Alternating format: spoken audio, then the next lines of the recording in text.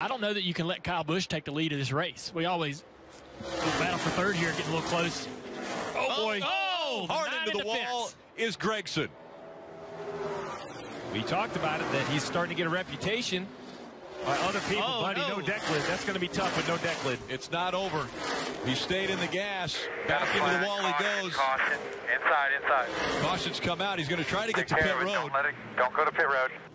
And they say don't go to pit road. Caution came out. That closes pit road. He would have been penalized.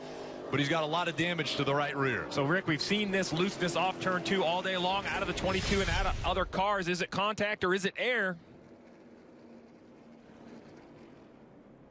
No contact. Nope. I think that's all air. The nine chases it up and runs out of real estate. Yeah, it didn't look like there was contact. Let's look at this angle.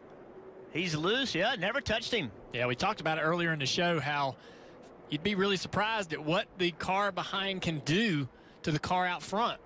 Getting on that quarter panel can really move you around if you're the lead car. And then down here at this end with the damage, flat tires, no no sheet metal, no downforce. All right, so drivers, I'm going to put drove, this... in, he drove in there like it was perfectly fine.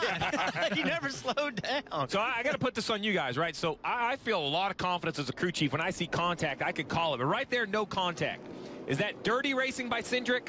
Or is that just an unfortunate air getting Gragson sideways and not being able to save it? Now that's not dirty driving. That's just that's racing. You know, no contact. Uh, you know, if you're going to pass somebody, you got to get close to them. So there's nothing dirty about that, Marty.